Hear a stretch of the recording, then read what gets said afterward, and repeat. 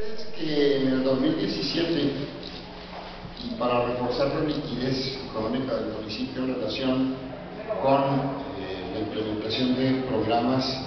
relacionados fundamentalmente con la seguridad pública, se autorizó por el Ayuntamiento de Chihuahua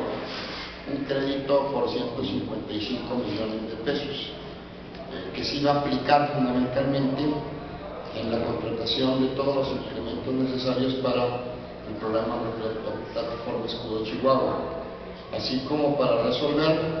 la cuestión de la afluencia vehicular de la zona suroriente de la ciudad,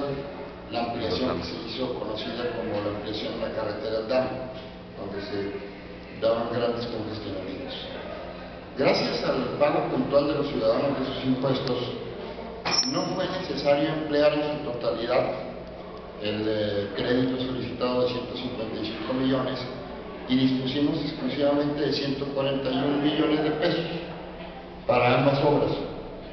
Una vez solicitado el préstamo, se creó una cuenta única y especial para este crédito para tener un más ágil control y monitoreo del uso adecuado y de las disposiciones en efectivo y de la aplicación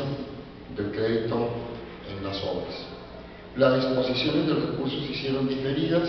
iniciando los últimos dos meses del 2017 y en el mes de enero se solicitaron 129 millones de pesos restantes, esto con el fin de disminuir el costo del financiamiento. ¿Qué les quiero comentar? Está el mes de mayo total y absolutamente liquidado. Con lo anterior, esta administración eh, tiene cero de, de cualquier monto contratado para obras o servicios a los chihuahuenses. Esto nos da y nos proporciona eh, una solidez financiera para comenzar eh, la nueva administración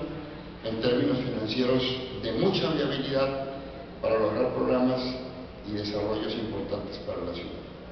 El otro asunto